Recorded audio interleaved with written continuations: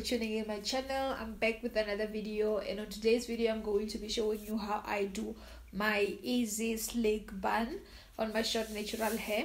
So i went back on using my perfect touch sculpting gel and this is the one that i used on one of my previous videos that you guys really really loved and you wanted to know more about this gel so unfortunately, this is a South African based brand. They don't supply international. And for South African people, you can get it from Clicks. And there's three different kinds. And the one that I love is the sculpting gel. is the one in the purple packaging because it has ultra hold, which means my hairstyle is going to last for days until I wash my hair. And if I'm not using this perfect touch gel, I will be using my Eco Styler, which is an olive oil gel. So the difference between the two is that this one has a stronger hold and it dries quick where else this one takes a little bit longer to dry but it's still an amazing and good gel and infused with olive oil which is amazing for your hair.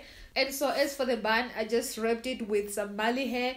I didn't use the whole packet i used like half of a packet. And so if you're interested in seeing how i got this slick bun then keep on watching. And if you like this video don't forget to thumbs up subscribe to my channel if you haven't already and i'll see you guys in my next one.